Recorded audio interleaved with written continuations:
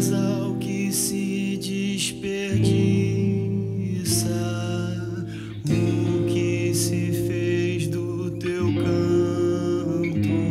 que já não mais expressa espanto e cala conivente enquanto a vida